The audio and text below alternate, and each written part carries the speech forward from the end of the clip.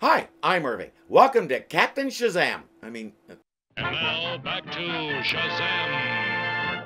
Mentor and Billy are driving through what looks like maybe southern New Mexico or somewhere like that. They're in a desert, and Billy is excited about a book he found. The State Historical Society map. It shows all the old gold mines. It didn't cost anything.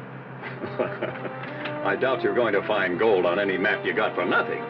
Gee, people have a way of taking all the fun out of things when you're getting old. Der, older. Thing is, Mentor is right. Places used to publish tourist maps like that, and the only mines they would take you to are mines that ran out of ore ages ago. That's why they were abandoned. Anybody who thinks they'll make a killing off one of those maps is, well, about as gullible as Billy is. The elders call. They're right on top of things. We haven't even met another person yet. Maybe they just want to gab. Gold is where you find it, Billy. In other words, don't put too much faith in that map. But friendship and understanding, that too is gold. The old exist to make the way easier for the young, but all of the young do not listen. But I listen to you. You have learned, Billy. Before this day is out, you will meet some who have not. Or maybe they have something else on their minds. With these guys, you can never tell. While Billy and Mentor kick Solomon's words around, they come upon what is to be the actual subject of those words.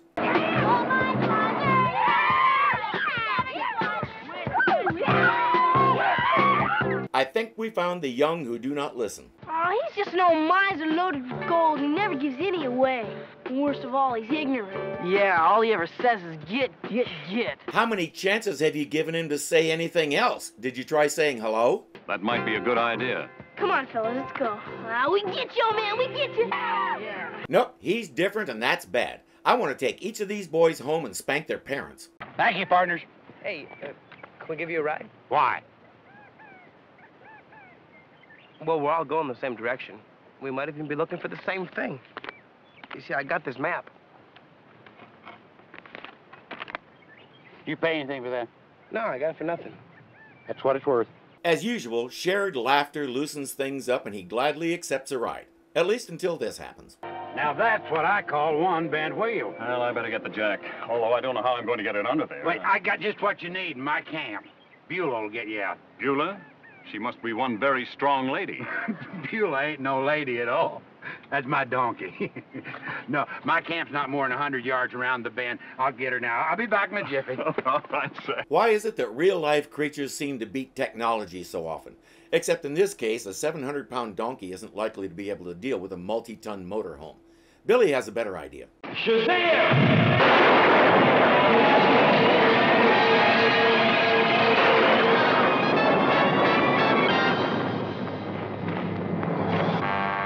Yes, he's back, but only for this episode. I'm not sure how that came about, if they shot the episodes out of order or what, but we do get Jackson Bostwick one more time.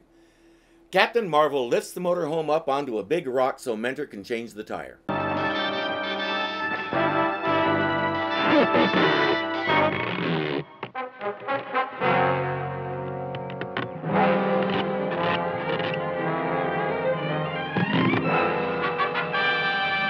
Or he can save time and effort and straighten the wheel himself. They drive into the prospector's camp just as he's untying Beulah. He doesn't ask any questions, he just says he would have liked to see whatever happened. He's an easygoing sort, which is why nobody can figure out why those kids were giving him so much trouble. So tell me, where's your gold mine? Well, my mine is right around the hill, but where the gold is, I couldn't say. I never found much gold. It's... Come on, I'll show you my digs. Now we know there's no gold in it because he's willing to show it to people he just met. If there was a decent vein there, he'd be concerned about claim jumpers and wouldn't give up the location. Well, as far as we go. Just before it starts getting little. We can't go any further. Oh, it ain't safe. For nobody but me, anyway. Are you sure it's safe for you? There's a little hole there that leads to where he's actually digging, but it's just big enough for one person to squeeze through. That sure sounds safe. Outside, that group of boys is back. They're examining our friend's camp, and we finally find out why. Somewhere along the way, we'll learn that he goes by Seldom Seen Slim. We wait and see which direction they come from. Then we'll know where to look for his gold mine. Oh, why bother with that? I mean, all we gotta do is find what old Seldom already took out. Taking his gold would be stealing. Digging his mind would just be like swiping watermelons. Uh, right. When he grew up, he ran for Congress. At the camp, Billy asks the prospector, Where would you look for gold if you were in my place? Right there. Ken Taylor Flats. Are you sure there's gold there? Nope. But I ain't sure they ain't. In other words, he hasn't looked there yet, and apparently neither has anybody else. You might as well be the first. Go get your mining gear. Oh, you don't have any? Well, that is a problem. But we have a more immediate problem. The boys have found Slim's mine tunnel. Look, gold. This nugget must weigh more than half a pound. There's an even bigger one behind that stick of wood. You might want to consider the possibility that that stick of wood was in that spot for a reason.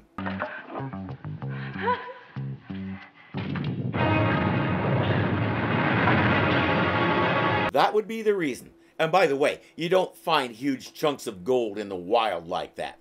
That's not gold, or Slim would have collected it by now, don't you think? They skedaddle on out of there with their nice big haul of iron pyrite and decide that's enough. The mountain is telling them to stay out, and they're inclined to listen. You know, if old Seldom can pass up this kind of gold, what kind do you reckon he's got back at his camp? I'll bet that's where the real money is. Look, we took this out, and that's okay. But we're not going to take from his camp. That's stealing. Okay. Okay, stay poor. See if I can. Not as poor as I was half an hour ago. There's always one. Billy's in a stream panning for gold. You might have more luck if you tried working the edges of the stream, where the water flows slower. Yeah, but it seems to me the faster the water flowed, the more gold will be washed down. Well, it doesn't work out that way. Well, on which side? You're already in it. Why don't you try this side? For one thing, that pan looks more suitable for eating stew than it does for panning gold. It's way too deep. You want a shallow one so you can swish the water and sand around, gradually sloughing off the useless stuff while the heavier gold stays in the bottom of the pan. And don't expect to find any huge life changing nuggets.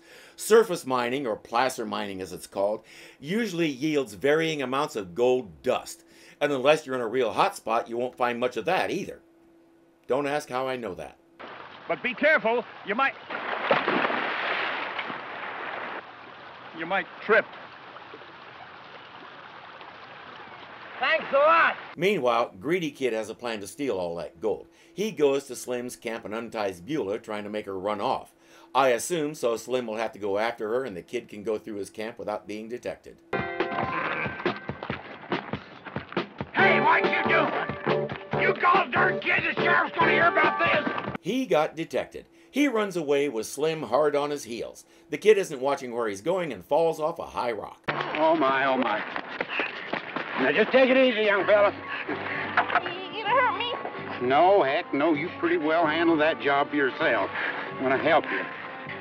Tell me why. Well, because you need it. He doesn't seem so crazy now, does he? Really, he has the touch of a master surgeon and he's genuinely concerned and inclined to help. Basically, he's a nice guy and you've been treating him like crap. Bet you feel pretty good about yourself along about now, huh? Slim heads off to get his first aid kit, which he keeps at the end of the mine tunnel, since, as he says, that's the only place he ever gets hurt. He's out of earshot when our boy remembers that they sort of destabilized the tunnel. Mr. Prospector is in danger. Here, Beulah. Here. Nice. Over here. You gotta get me out of here. That's the girl. Good thing Beulah knows how to do that. He puts the rope on himself and Beulah hauls him up. Come on now, you gotta get me out of here. It's a really good thing Beulah understands English so fluently. Slim is in the tunnel discovering the damage the boys did to his bracing.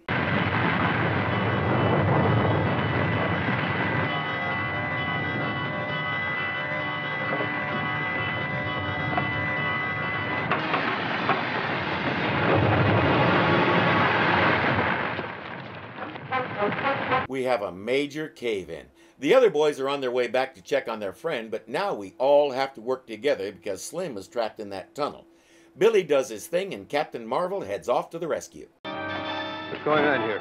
The old prospector's mine. I, th- I think he caved in on old Seldom. I think it was our fault. Well, we'll settle responsibility later. You stay here till the motorhome comes by. Right. It took me a bit to catch what that boy was calling him, and there seems to be some confusion about his name.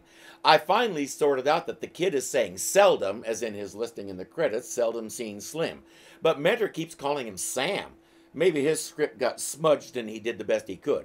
Or maybe somebody completely missed that boo boo.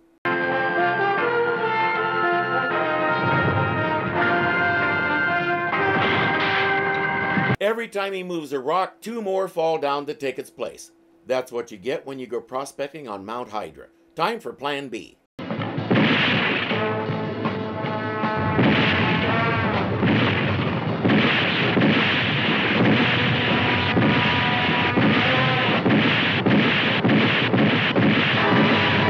Get your Captain Marvel digger today, only $299.99. So much more efficient and economical than dynamite. Quieter, too. That darn mountain, it had no right to do that to me.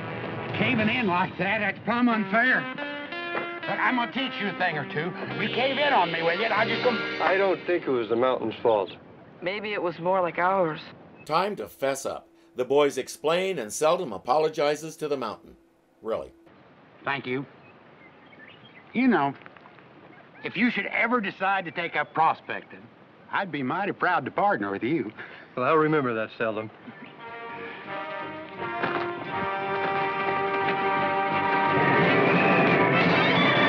And Jackson Bostwick flies out of our television sets. We won't see him as Captain Marvel again. Seldom goes off to take care of Beulah after a little talk with the boys. What turned you around? Mr. Seldom. He's a lot smarter than we gave him credit for. He talked to me just like a regular doctor. You know, I haven't been comfortable with these things since we took them. Let's give them back. He finally figured out that taking from Seldom's mine is also stealing. Sam, there's something we took out of your mine. I guess you overlooked it. Hmm. Well, they're yours. You you found them. Oh, of course, you know, boys, them nuggets and a nickel will get you about an hour on a parking meter. no, them little pieces is called iron pyrite. That's fool's gold. I hope somewhere along the way he'll show the boys how to tell the difference. It's not hard if you know one little trick. First one to tell me in the comments what that is gets a shout out in a future episode. Mr. Sam, how do you find real gold? Son, it sings to you like a nightingale. It says, come on. Come on. And goes someplace and hides. Slim isn't just a smart man, he's a poet. The boys go to look around. Mentor asks Seldom, What would you do if you hit the big one? Probably covered up. Ah, shuck, I wasn't cut out to be rich. I, I'm a prospector. But you know, I just may have struck it rich today. Huh? You really think so? You know that tall kid? Yeah. He just asked me a straight out question. Sounded like he really wanted an answer. What's wrong with a little peace, love, and understanding? The boys struck it rich today, too. They've found a resource for knowledge that they'll be mining for a long time. Mr. Sam, where do you think we should look to find real gold? Well, boys, if you've got the time to listen, I got the time to talk. When you didn't know him, you taunted him and harassed him. But now that you've discovered his humanity, you respect him. Next time, start there. Respect him even before you get to know him. It makes getting to know him a lot easier. But anyway, I was I was coming down this mountain trail, and I heard this funny noise. And she went, Oh oh, oh, oh, you did too. Seldom seen Slim Sam's somebody really stole this one from me. The mining bug is a real disease. I know because my dad had it. He owned I don't know how many mineral claims in two states, and every so often we'd go to one of them and do some digging or panning. For a while, he got into underwater dredging, where you use a little vacuum hose to suck up the dirt and gravel from the bottom of a stream and run it through a thing called a sluice box, which was supposed to separate the gold from the dirt. I might do a story time on that one of these days because I got to go underwater in a wetsuit and regulator and do the vacuuming. Anyway, the money he sunk into his mining ventures could have made him independently wealthy because none of them really amounted to any major income. And so the what?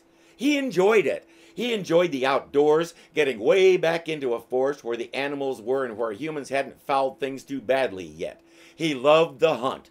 For him, the biggest enjoyment was looking for it, trying to second guess where it went and hid, as Seldom put it.